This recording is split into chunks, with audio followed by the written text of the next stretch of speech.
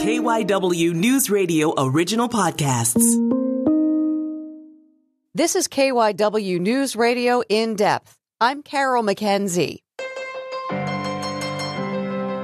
We have been pinning our hopes on ending this pandemic on vaccines, and that's understandable, but it's not the entire picture when it comes to keeping people from suffering and dying from COVID 19. Therapeutics are still an important part of this fight, and we wanted to get an idea of where we are now with treatments nearly one year out. And we wondered if treatments have gotten any better for long haulers, those who have recovered but are still battling the debilitating effects of the virus months later. One of the therapeutics being studied by the NIH is plasma gelsolin, a naturally occurring anti-inflammatory protein that New Jersey biotech company BioAegis has been testing now for years. We've been following their progress during the pandemic, and we invited their chief medical officer, Dr. Mark DiNubile, to join us again to talk about their progress and the progress of therapeutics in general. Dr. DiNubile is also an infectious disease expert. According to the National Institutes of Health, early in the disease, the antiviral therapies and antibody based therapies would have the greatest effect. And then later on, it would be the anti inflammatories. And that is because early in the infection, the disease is driven by the viral replication. So let's start with that, if we could, and then we'll get to the later stages, which involve inflammation. So, if we could yep. start out with the the mono, monoclonal antibodies, can you explain to us what they are and what they do? Yeah, I I, I think it's a pretty straightforward concept.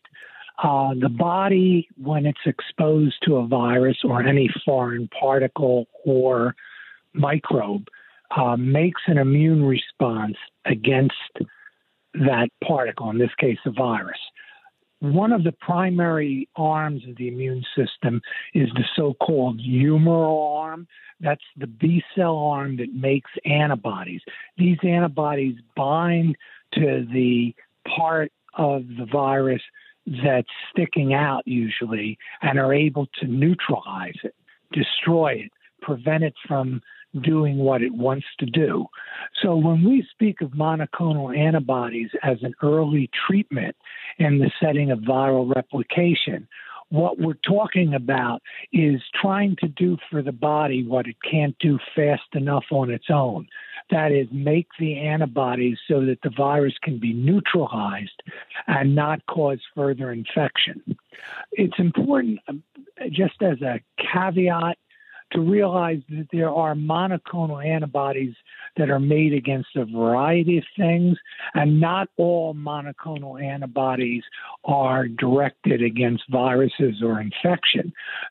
In fact, there are some cases where there are monoclonal antibodies uh, directed against the immune system components that hurt the patient.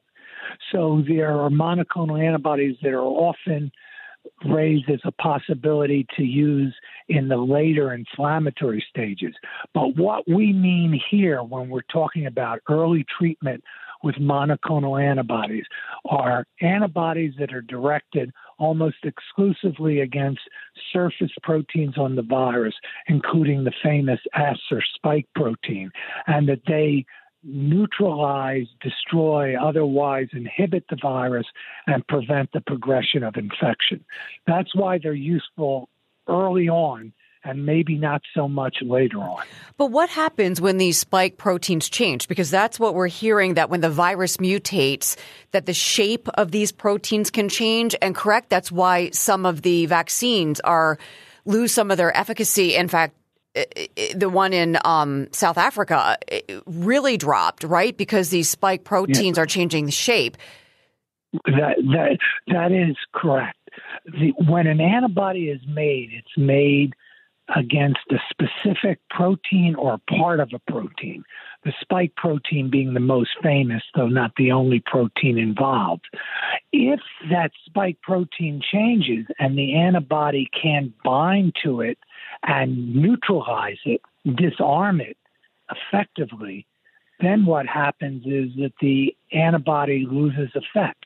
Now, so the antibody can be one's own natural immunity. So someone gets the old, old COVID, and then eight months later they get this new COVID where they've generated antibodies the first time against the old spike protein, but this new spike protein is so different your own natural immunity won't work. The second thing is that if you give a vaccine, which is meant to generate antibodies in the end against the spike protein, if the vaccine codes for one spike protein, which is very different than protein that's circulating in the new strain, those antibodies won't work, and therefore the or won't work as well, and therefore the vaccine may become much less effective. Also, and the third way that could happen is with monoclonal antibodies if they're raised to bind to certain types of spike protein, and that spike protein is not on the virus that's getting into the patient at the time, they won't work. So, monoclonal antibodies vaccine induced antibodies and natural immunity related antibodies all could become less effective if the protein they're targeted against dramatically changes. And that's similar to what we see with the flu. Every year, the proteins on the flu virus gradually drift.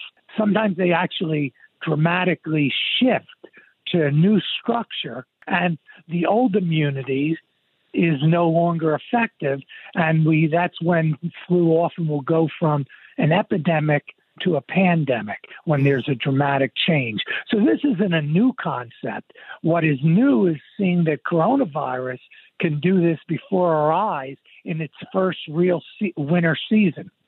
Which is crazy. I mean, I heard a report, I believe it was on CBS, that there was a patient who became very sick and unfortunately eventually did die from coronavirus. But there were, I believe, they tracked 20 mutations of the virus in that one patient. Yeah, there, there. It's interesting that uh, mutations can occur in bunches, and some viruses, HIV probably being a very famous example, are error prone, so that when you treat them, they actually make errors which are to survive. They keep changing the proteins that they put on the surface so the immune system doesn't recognize it. It's almost as if the virus is smarter than us. and this is the case that could happen. Now, some of these mutations are meaningless. It okay. depends on where the antibody is binding and whether the mutation in the protein, as we said, most of the time this is the spike protein, significantly reduces that that binding. So there'll be a lot of mutations that'll be subclinical and irrelevant, but there can be one or more in a given virus that will negate anything that has any immunity that already exists. And we're now seeing some patients. I think we're seeing reports of patients who had COVID six months ago and now, unfortunately, are getting serious infection with a variant where the protein is so different that their old immunity doesn't help them. And it's as if they're getting COVID again for the but for the first, for the time. first time. So it's a bad situation. Yeah, there have been a handful of reports as well. Um, about people who have gotten the second uh, dose of a COVID vaccine and then got an infection. Yeah, well, that that's a more complex story. Okay. You know, not the COVID vaccine, even in the trials before the variants were widespread, was not 100% effective. In medicine, nothing is ever 100%. So it was in like the Pfizer vaccine, 95% effective against infection, luckily near 100% against serious infection. But some infection can happen. Mm-hmm. And as things change in the the spike protein and other viral proteins, that's more likely to happen. So it, it is clear that vaccination can also be outsmarted by a virus that's changing its surface proteins. And so the vaccine becomes less effective and sometimes, frankly, ineffective. I think you may know that uh, there was a question about the AstraZeneca vaccine not being so effective uh, against the South African strain mm-hmm. and whether it was appropriate to continue to use it in South Africa because it was less effective in pre- preventing infection.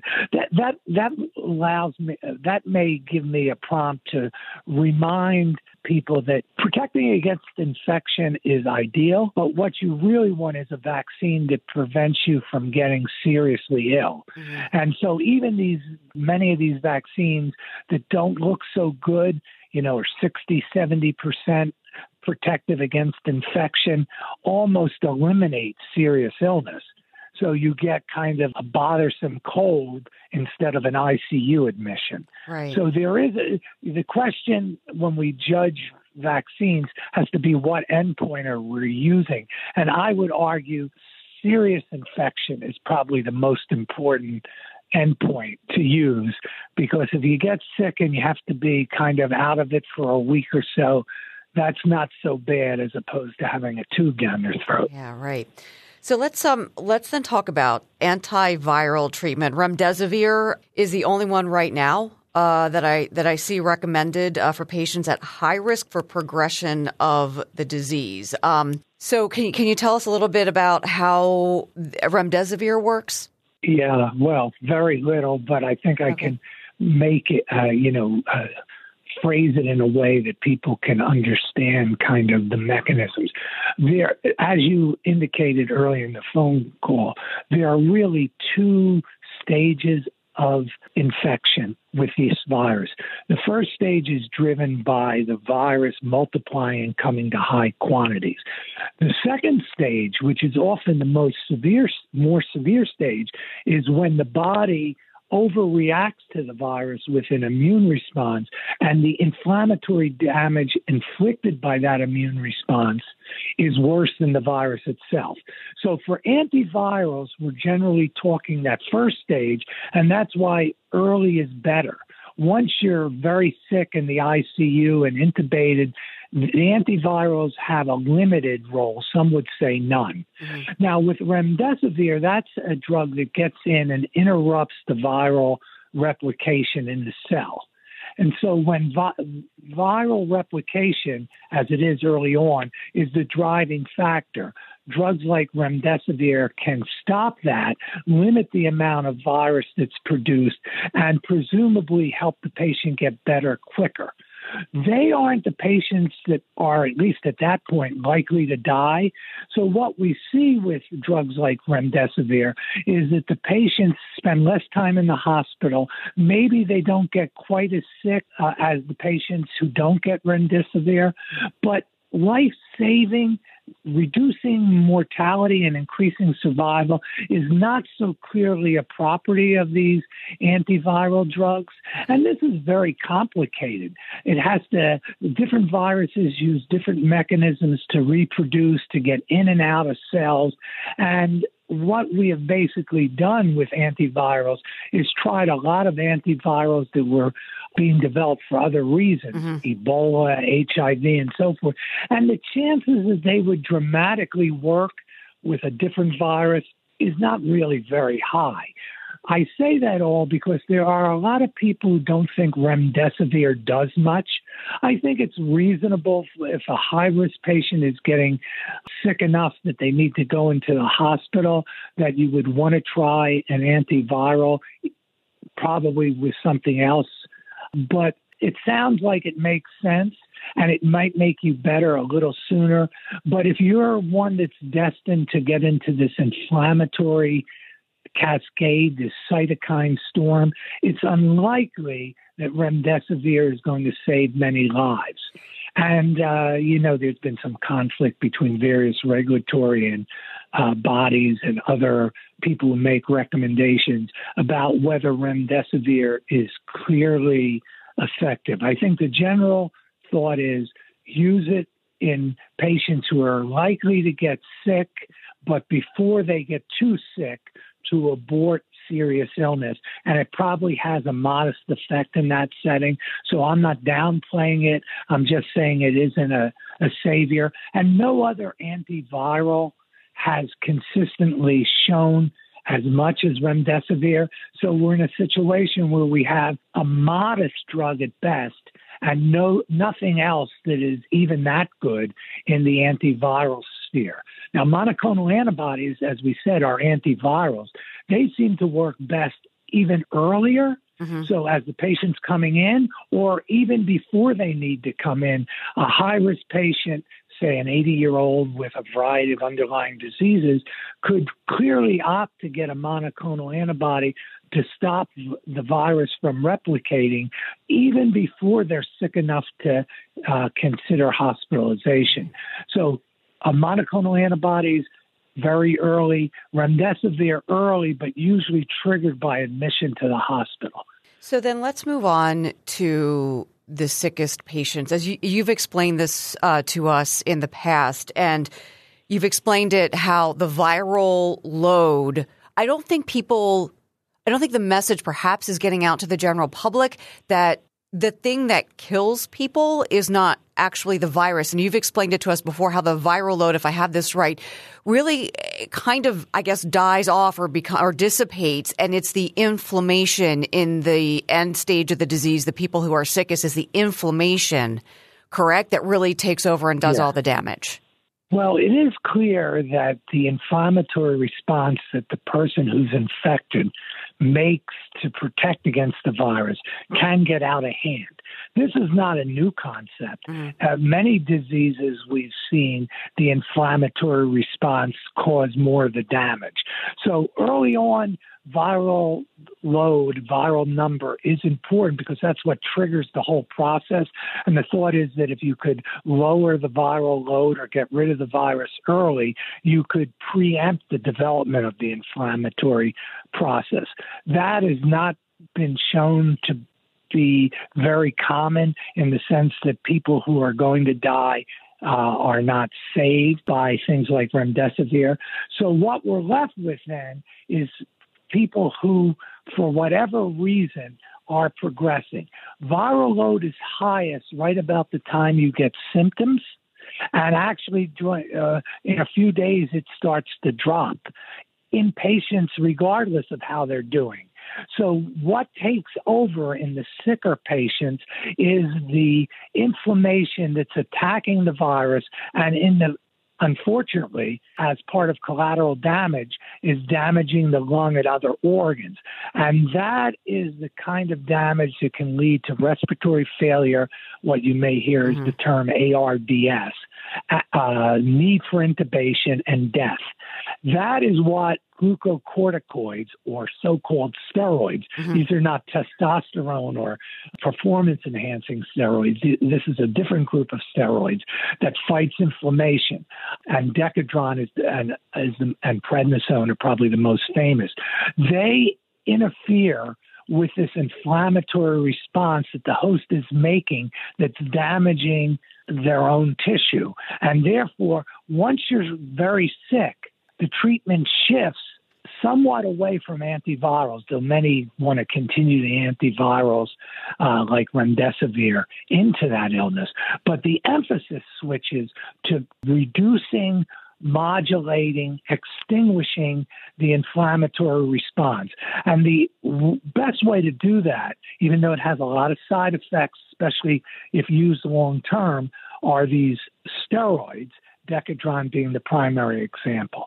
And that's why when patients are very sick, requiring oxygen, especially if they need invasive ventilation, they all get Decadron. And in fact, Decadron has been shown to improve survival.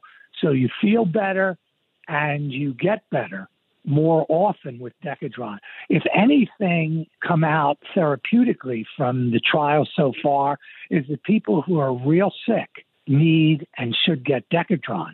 But it's also been in most of those studies that if you're not that sick and you get Decadron, it may do harm mm-hmm. because it, it, it's preventing the inflammatory and immune response from killing the virus.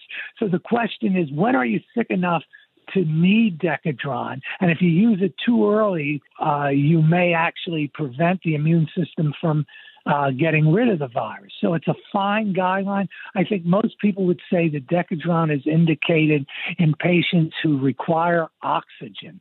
Okay. If you're if you don't really require supplemental oxygen, probably Decadron is not a great idea. And we just published a study in a journal called the Journal of Clinical Investigation, a, a, a of that called Journal JCI Insight, where in our analysis of patients from Italy, we found that steroids did improve survival for the sickest, but actually the death rate was higher in patients who weren't that sick and got Decadron early. So Decadron is a double-edged sword. It's not like why not? Everybody mm-hmm. gets Decadron. There is a why not. It can do harm. So you don't want to use it too early, but you definitely, once you cross into that flagrant inflammatory phase, want to use Decadron. Now, whether there are other safer and better anti inflammatories, that is a million dollar question. As you know, that's what our product that we're working on, recombinant human gel gelsolin, is aimed at modulating the inflammatory response. And we can get into that if you like later. There are other things that have been tried, like colchicine, which is an anti inflammatory famous for its use in gout. There was just a paper, I think, in the last week in the British Medical Journal suggesting that colchicine used in these very sick patients could be life saving. Now, it was a small study, mm-hmm. so there weren't a lot of patients, so there isn't a lot of confidence in the data, but it certainly was positive and, and suggestive that things like colchicine could, which is an oral drug, and doesn't have the toxicities that the uh, high potency corticosteroids have. It certainly is a possibility that that will come into play in these sick patients as an alternative to Decadron. We're not quite there yet. Is it unrealistic? We're a year into this pandemic. Is it unrealistic to feel or think that we should have some treatments at this point that we at least have a better idea of, of uh, uh treatments, you know, that have a better idea that work against COVID? Well, I would just say to you, there was a terrible flu pandemic in 1918, and we're now past 2018, a little more than 100 years. And we do have some anti flu drugs.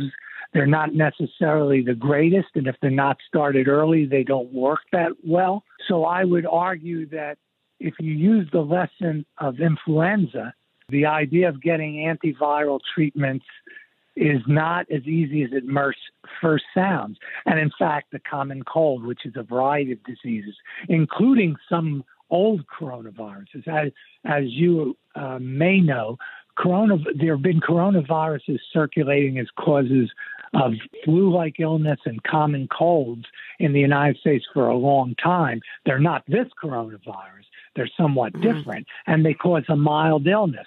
We don't have anything for that. So I, I guess I would say I'm not surprised that we don't have an effective antiviral. I think the idea that we've kind of defined stages and we think we know at least a bit what we can do about the viral replication stage with monoclonal antibodies and remdesivir. And we know that there's a switch to turn on to a host directed therapy that is something that quells the host immune response, which can be damaging, I think is a pretty good and pretty good advance over the course of a year. So I'm not surprised.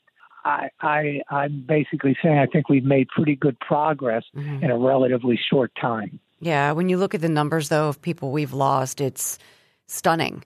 And I think you know, the mask wearing, the washing hands, distancing, and just the fatigue that people are feeling about COVID 19 right now. It, there's this, you know, you see the, there's maybe some frustration among the general public, but also when you see the response for vaccines, you understand how um, I don't know if desperate's the right word, but you know, people are really looking to they you know they're really looking for kind of an answer to this or a solution to this or vaccines aren't a cure but you know what i mean an end to this somehow. Right. Yeah. Well i i understand that. Yeah Listen, had the Eagles not been so bad, I would be lamenting the fact that we couldn't go to the Eagles game. But thankfully, they picked the right year to be terrible. To bomb. But, okay. yeah, but I, I can understand the frustration.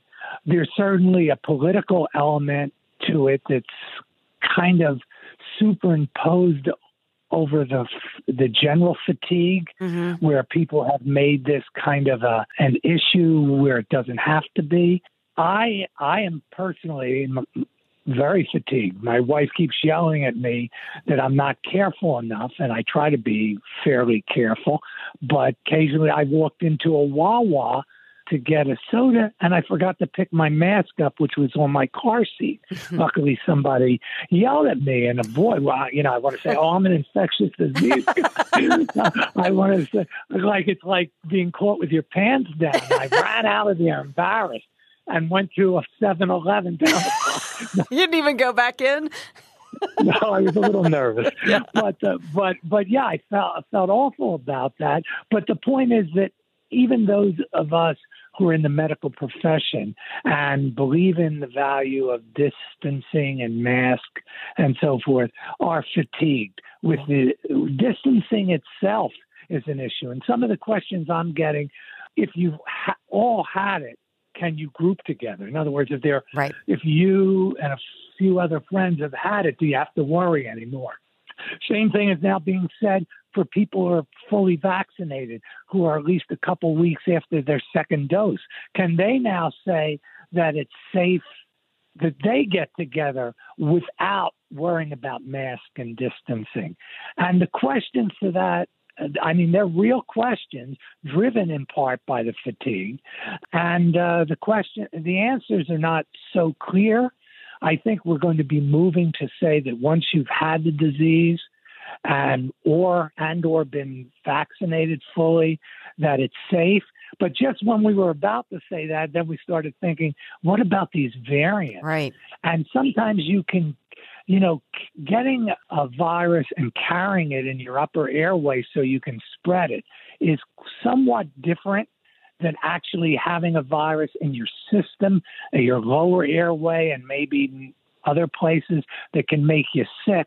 So the idea of that certain patients who've either had COVID or have had the vaccine can still be colonized in their nose and mouth and talk to you and spread it is not an outrageous thought. Yeah. And so it, it, the simple questions even are are complicated. Uh, if I could just speculate, I think that we're going to be hopefully able to say that having the vaccine or having COVID, at least for a limited amount of time, makes you unlikely to be contagious. Pfizer just reported, not in a, a peer reviewed paper, but I think it came out just yesterday that the amount of virus that could be isolated from people who were fully vaccinated, though not zero, was much less than those who were not vaccinated. So the idea that the vaccine cuts down on how much you're colonized and makes it less likely that you would transmit the infection is supported by that. But again, if you're a pessimist, you'd say, but they still have virus. Right. So how how sure am I? And, uh, you know, it depends a little bit on how cautious you want to be. That's another recurrent theme. I know I'm I'm jumping like I have ADD and I didn't take my Adderall, but I think part of what needs to be thought of here is it isn't zero or hundred percent. There are a lot of shades of gray. It's a question of how much risk are you willing to take. I I think there was one economist who who was trying to explain risk behavior and talking about seatbelts. And he said, well, seatbelts aren't don't dramatically save lives as much as you think, because when a person puts a seatbelt on, they actually then go faster because they feel like they can live with a certain amount of risk and now they can speed a little bit more be wearing a seatbelt. So one argues whether you you will live up to or down to whatever risk is acceptable to you. It is clear that wearing masks, especially tightly fitted mask, or even now the double mask, keeping distance uh, religiously, can really dramatically reduce the infection rate. And uh, the question is, you know, is six feet enough? How about four feet for 20 minutes or 20 feet for two minutes? I mean, these are all depending on your risk. There's some people who are hibernating in, in their attic and not coming out, and there are other people who go to see Tampa Bay beat the Chiefs. Yeah. It's it really is a, a risk. But the point is I think people have to understand it isn't an absolute line. Yeah. There's a risk there's a risk to certain behaviors and you have to decide what risk you're willing to tolerate. Unfortunately, it's not just you. The risk is for all the people that you're around. You know, in the HIV days, we used to say when you sleep with someone, excuse me, you sleep with everybody they slept with. You know, it's not just the, uh, the people involved. So when you decide you want to, you're going to go out without a mask, or you're going to mingle in a crowd for prolonged times without distancing, it's not just you that you're putting at that risk. It's all the people that uh, that are surrounding you, and that raises a lot of moral questions about and ethical questions about what's your responsibility to other folks. Yeah. At any rate, the bottom line is, for now, unless otherwise instructed, we should all be masking and keeping distance when possible. So let's loop back to the when we talked about the the sickest patients and the cytokine storm and the anti-inflammatories. That is where gelsolin comes in. Um, so can you give us? This is something you've been working on for quite some time. Can you give us? And we've spoken before. So I'm asking if you if you can give us a refresher on gelsolin. What is it and what does it do? Well, gelsolin was first discovered as a protein inside cells and was thought to help white cells move we were surprised actually uh, way back near 1980 when it, we discovered that it was in the blood. You know, some people thought maybe it was just an artifact, but it is in the blood and it's in high quantity. And uh, research looking at wh- why it was there, in what quantity, and what affected it pursued over 10 to 20 years. And what we found is that when people got sick regardless of the illness, uh, gelsolin levels dropped, especially if the illness, whether infection or non infection, had an inflammatory component. And it seemed to drop more in those with who were sicker. So if you got any kind of inflammation, especially if you were really sick, your gelsolin levels dropped. And, it, and in fact, they dropped rather quickly so that when you, in an early study where we looked at people who came into the emergency room after major trauma at Cooper Hospital in Camden, New Jersey, we found that when they came in, they had low gel gelsolin levels. What was interesting is that that couldn't easily be predicted by the clinical evaluation.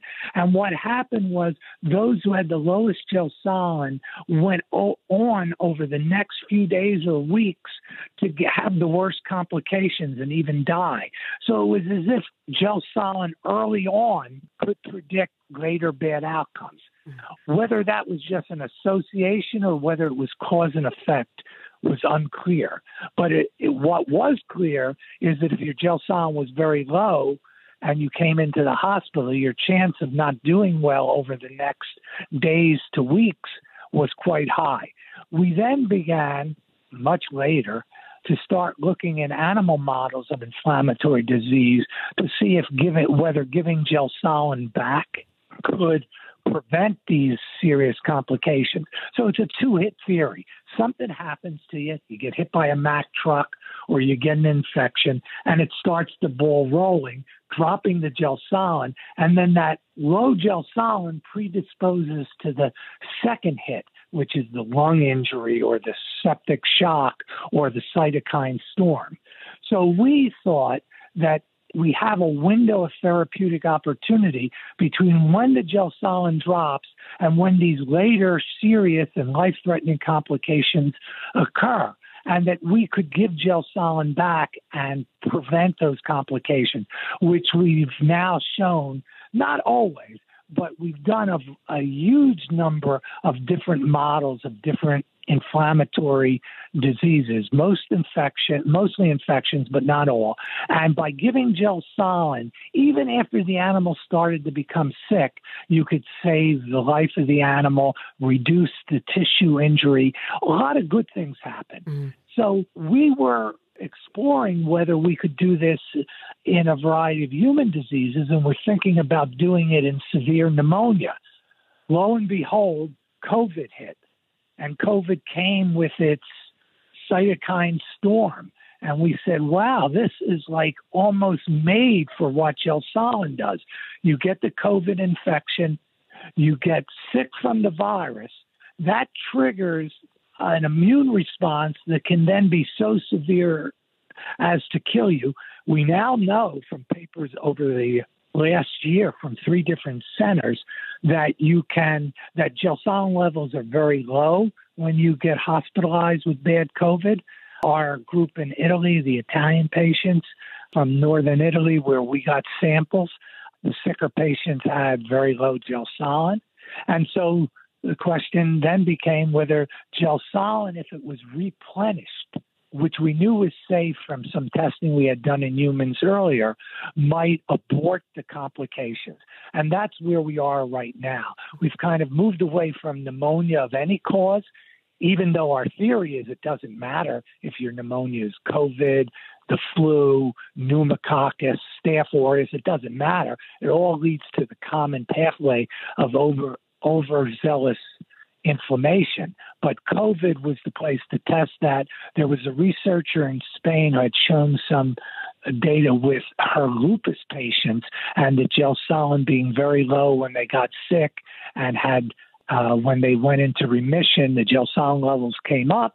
So when COVID hit, she called us or we called her. At any rate, we began, began talking and we decided to do a study in Spain, and uh, actually there are three sites in Europe now, uh, giving patients who had serious COVID infection.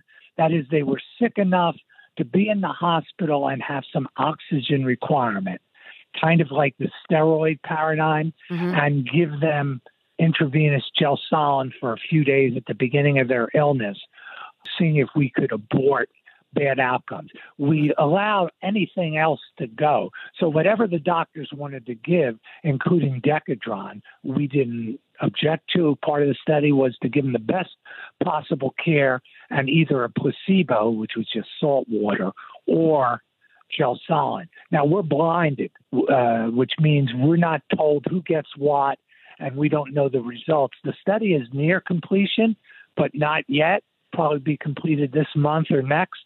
And so, and then we have to follow the patients for several months after that before we unblind. But we're hoping, let's say May or so, that we we will know whether gelsolin made a difference in keeping people alive and in keeping um, patients' lungs functioning better than they would have without gelsolin. So that's our hope, and that's where we stand. So can so the FDA has granted emergency use authorization uh, to uh, a, a, number of monoclonal antibodies. Um, which are also laboratory made proteins. And I'm wondering, can we make a connection between those monoclonal antibodies and gelsolin in that the antibody treatments have gotten FDA emergency use authorization. So why not gelsolin? I think it shows that they're open to the idea. And yes, I do think that it's a positive step. There are a lot of regulatory hurdles to pass through. Some of them are very technical because when our company was formed, we upgraded the manufacture of gelsolin. So the FDA, unlike the European agencies, the FDA decided that it was a new drug now, and all the animal safety data had to be repeated. And we're a small, poor company. So that's slowing our negotiations down with the FDA, but we're in the process of filing an IND in this country. The European and Asian and Australian agencies have, in general, been more understanding that the product we have with our manufacturing process is identical to what other companies tried to do before us and uh, have therefore not forced us to do all the animal safety data again. That's why our studies have been done in Australia and the Republic of Georgia, presently in Spain and Romania. But we're hoping soon with the data from Europe the safety data from Australia and Georgia and the new animal data that we're just finishing up to be able to get an, an approval in the United States to do investigational trials. And uh, we'll take it from there. There is some you know, as a doctor, of course, I hope that the vaccines are so effective that COVID becomes a non issue, but we're not COVID specific where the idea that bad pneumonia, bad intra-abdominal infection, bad lupus, bad trauma are all inflammatory diseases where gelsolin can make a difference is what drives us. COVID is a unique and kind of enticing opportunity to show that quickly but we're we're not a specific antiviral. We're not an anti-COVID drug. We're an anti-excessive inflammation, and I think the FDA is more and more understanding that. But the monoclonal antibodies, which you point out, are really antivirals. That's something that that the FDA is used to thinking about, as opposed to drugs which affect the immune response later on. So, though we have some precedent that what we're doing is okay with natural proteins. It's really gelsolin works at a different site, and that adds a little more difficulty to convincing the FDA that it's safe. And by the way, the idea that the FDA wants everything to be safe before they go any further, before they really want to get into how well it works, they want to make sure to do no harm, I think is to be laudable. So, though we're being slowed down by it, the fact that they're conscientiously trying to protect uh, Americans from any toxicity, uh, to me, is uh, is something to be emulated other places in the world. But nevertheless, we think we've accumulated enough safety data in humans in Europe and elsewhere, and now in the animal models that hopefully will be very positive, and the FDA will be ready to move forward with us, uh, hopefully during this calendar year. I, I, yeah, that, I mean, I think, um, I understand what you're saying, of course, about the process and safety and do no harm, but at this point, is there a little frustration here? I know um, your CEO, Dr. Susan Levinson, has written an article kind of, you know, pushing. She says, you know, novel anti inflammatory treatments can close the gap in this disease and that the vaccines alone are not the answer. They're just a small part of the solution. Um, and, you know, she, sure, her, her article basically argues for the use of gelsolin. Um, because it does step in and and uh, at the at the end stage when it's the inf- in inflammation the, the, the very thing that kills people that it can help. And so I'm just wondering you know about the sense of frustration there there there might be among you and your colleagues in trying to get this out there because you believe it can help. Yeah. Yeah I I think there are, you know obviously we're true believers that is both good but also dangerous, right? We are we have come to the the sense that this is a drug that will work and will help. Uh, I think everybody who makes a discovery like this has that kind of belief. So it's we, we're we're very frustrated with the fact, for example, that all the data from the previous runs of, uh, of other companies that's kind of started to develop gelsolin and then for various financial re- uh, reasons crashed and never got it. Uh, we're able to sh- show that those companies, which included some big companies like Biogen, who was trying to develop aerosolized gelsolin for use in cystic fibrosis and maybe asthma, that all their safety data is applicable to our process of manufacturing process because our drug is by every means possible identical to what they produced. It's identical to the naturally occurring protein. So it is frustrating to hear that we need to repeat all that in a company without a lot of people a lot of uh, and a lot of resources. We don't have huge pockets like Merck or Lilly and so the idea that they could not say that something that seems identical and occurs naturally anyway was okay to go forward with was a bit frustrating. Mm-hmm. But you know, I, I, I'm I'm on the side that's you know already a believer, and I I, I don't want to I don't want to lose sight that that comes with a conscious or an unconscious bias, and the idea that uh, safety as to most. Some people don't even want to take the vaccine. It's because you know some. I I read something that I thought was funny. Somebody posted something about you don't want to take the vaccine because you're not sure what's in it, but you've been eating McNuggets for 30 years. Uh, uh, you know, but that's the way people think.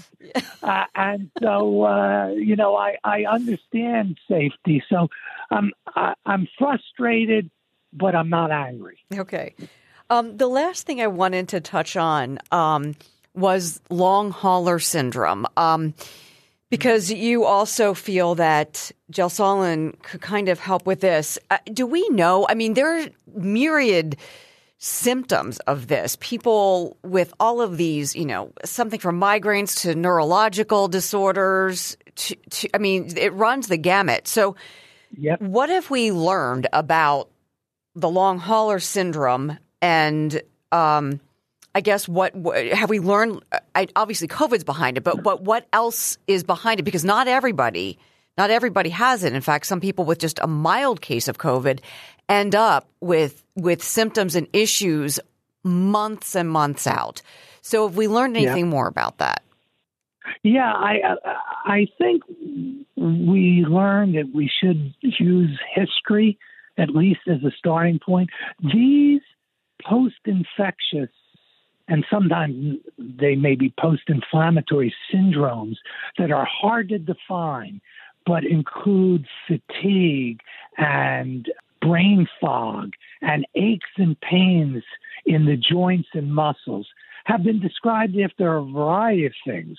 There was the big story, I guess, back in the 70s, uh, Lake Tahoe in Nevada, where it looked like they had a flu outbreak, and then a bunch of the people that were there were unbelievably fatigued for a long time after.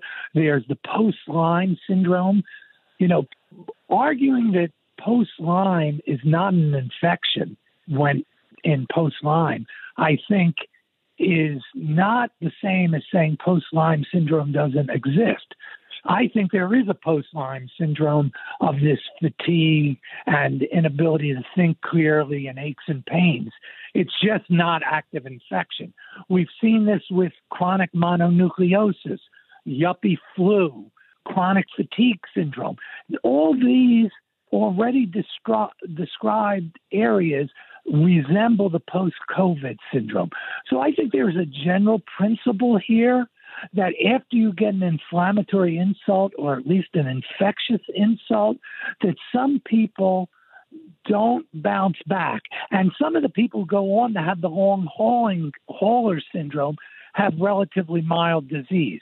I don't think it's ongoing infection, but I think it's very possible that it's ongoing or dysregulated immune responses, that these people have continued immune activation that's able to make them feel awful, uh, but not related to an active infection. It's like the immune system should recognize that its job it's done and shut off, but it doesn't. Hmm. Insofar as gelsolin is a regulator of that, it's very conceivable that gelsolin plays a role in what we would call the pathophysiology, that is the cause of this syndrome. And we are indeed very interested in whether low gelsolin levels at some time in the course of the disease, particularly drawing the continuation of the of the post-infectious disease, not the acute infection, but the later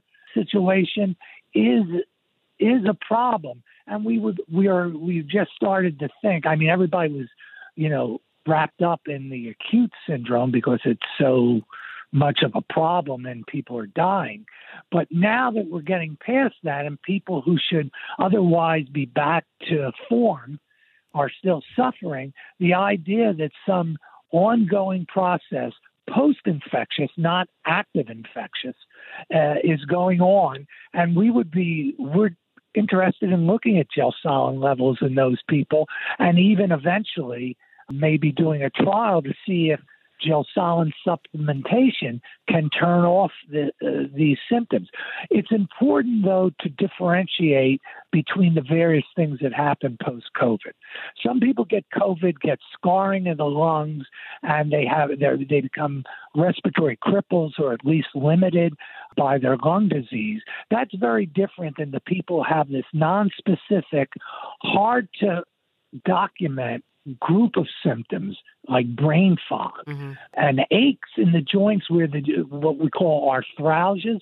The joints hurt, but they're not actively inflamed, which would be arthritis. It's a very hard syndrome. That syndrome that I think people really mean when they talk about long haul- haulers, not the residual of bad uh, acute disease, but this long, persisting, ongoing group of complaints that's hard to objectify, I think is something that very well may turn out to be a immunologic disorder triggered by the infection that will require not anti-infectives but immune modulators.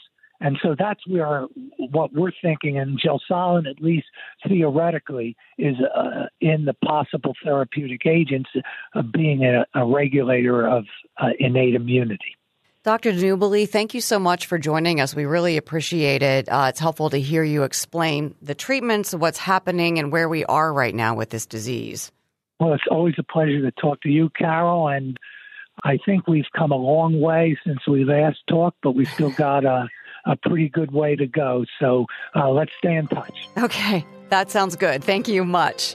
Thank you so much. Bye bye. Soon after we recorded this interview, BioAegis was recognized for its achievements and innovations by its industry peers with Best COVID 19 Response from the Clinical Trials Arena Excellence Awards. That's it for this episode of KYW News Radio In Depth. You can listen and subscribe to the podcast on the radio.com app or wherever you listen to your favorite shows. I'm Carol McKenzie, and we'll have another episode out soon.